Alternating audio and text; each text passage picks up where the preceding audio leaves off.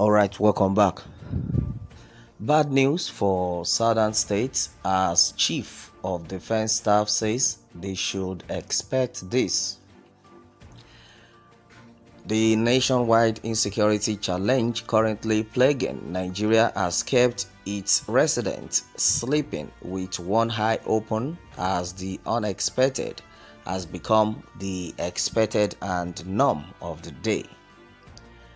Every part of the nation has various Nigerian security operatives combating with different forces. Either it is Boko Haram and bandits in the north, IPOB slash ESN unknown gunmen and killer Fulani S-men in the south and southeast. No part of the nation is free from insecurity challenges these days and the Chief of Defense Staff General Lucky Irabor has informed Nigerians that more military action should be expected by Nigerians, especially in the southeast. Alright, this is coming after Mr. President issued out new directives concerning the growing insecurity challenges all over the country after a series of meetings with the chief security personnel. The General and Chief of Defense Staff has now promised that the instructions of the President will be followed and executed to the latter as they try to curb the insecurity challenges further stating that states in the southeast should expect more military action.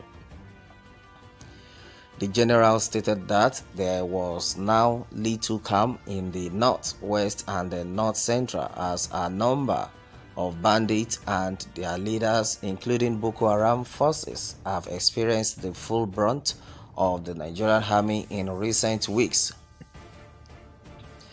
Attention is now turned to the states in the southeast. In the southeast, you've also been following the reports all right and then as it says while the general might have cleaned up the luggage a bit.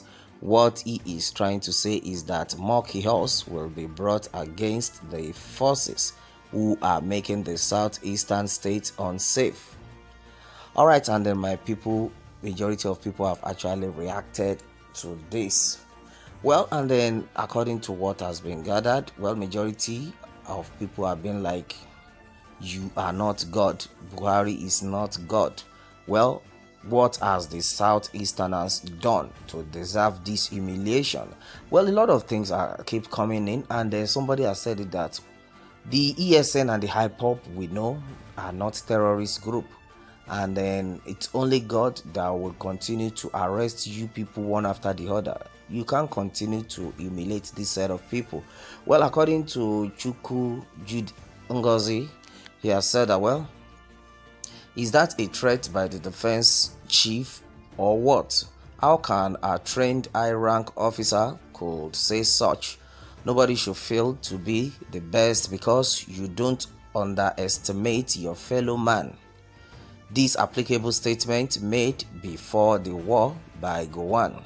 And then meanwhile, should that be a challenge? No to everybody is an error. For such comments, let us be careful with our words, which can cause big problems. At times, let's remember Macbeth and then Macduff in the literature, please. Alright, this has been said by Chuku Jude Ngozi. According to Reverend Henry, I said, well, Lucky Rabble, please treat us like Moses treated his Israelite brothers in Egypt when Pharaoh was subjecting them into slavery. Don't shoot your southern brothers. It's going to be a genocide. Please stay clear and don't be part of the shooting. This has been said by Reverend Henry Ikopara. Alright, it is also said by Stanley Wachuku that what nonsense, your house is on fire and you are chasing rats. Boko Haram has captured and then hoisted their flag in certain local government areas and towns in the core north and the Nigerian army appears overwhelmed. It is the southeast, south south and the southwest that you want to test your military process. Well, it is rather a shame to say the least. All right, and uh, that's another one. I think I don't know what's actually happening to our Nigerian army right now. We have insecurity, We're talking about terrorism. It's in the north. Majority of people have been displaced right now a majority of people have been sent out of their villages simply because Boko Haram terrorists are you know have invaded the town and they are terrorizing this set of people. And yet the Nigerian army could not be in fact they are unable to defeat this Boko Haram. But look at unharmed civilians, innocent people, even the small vigilante side of people, the ESN vigilante people that are protecting their people. Those are the people they want to face. They want to test their you know energy they want to test their energy on. Is that is that called for? Is that what you people were called to do? I think this set of people have overstepped what know they are supposed to be doing because even the international community is not even working and that is why they are gallivanting. They are just doing anyhow they want. Now they are killing innocent souls everywhere. They are calling IPOB, who is just defending his his uh, how would I put it? His vineyard. Let's say the vineyard, his own community, his village against attacks. And the next thing you have tagged them a terrorist group. I think it's only God that will judge all these people one by one. And they should not forget what happened to Abba Kyari. We keep saying that. Yes, that is to tell you that there is God. And these people are pushing God to a level to which God will start biting them. And then they don't know, they, they thought it's a joke, but let's see and watch. Provided you are still doing your evil thing, God is watching. Well, a lot of things have actually been said, and then according to Anya Obi Emmanuel, he says, Well, he says very soon every Nigerian person will carry gun to fight against the Nigerian soldiers Soldiers will soon remove their uniforms because of attacks from Nigerians. Nigeria must scatter continue with the use of force. That's another strong one. Well, Boko Haram is no longer important for you to defeat. It is the innocent people who voted Buhari into powers. You after idle soldiers like Irabor is talking.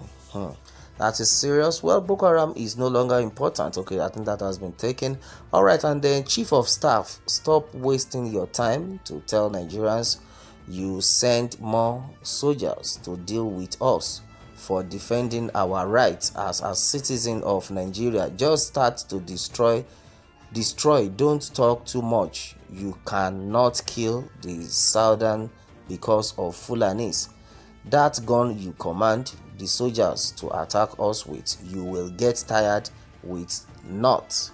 With not continue with the use of force to address Nigerian issue. Wow, that's that I think I quite understand God what he has just said so far, and he has been able to make his point. Wow, that is it. Well, and Bethel Tabernacle says, well, they have caused Nigeria Nigerian army is Boko Haram and Boko Haram is Nigeria army. My daddy, late soldier, will not talk like that. Hmm. That's serious. Well, death to hell, God is no man. It's better that way. That's another one coming from Potent F. Folly. Alright, I think this is a Fulani man. He says it's better that way. Put an end to all this nonsense.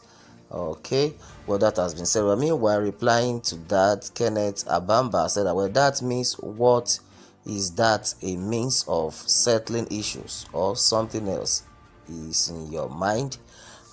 All right, okay, I think he's asking that is that a means to settle issue? Well, the truth of the matter is God is bigger than all this set of people. There is no way.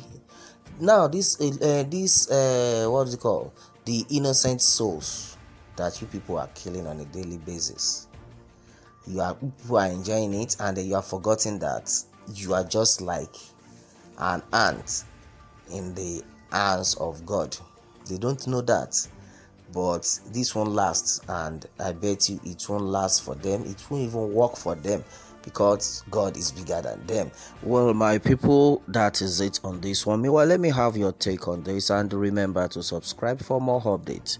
Thanks and god bless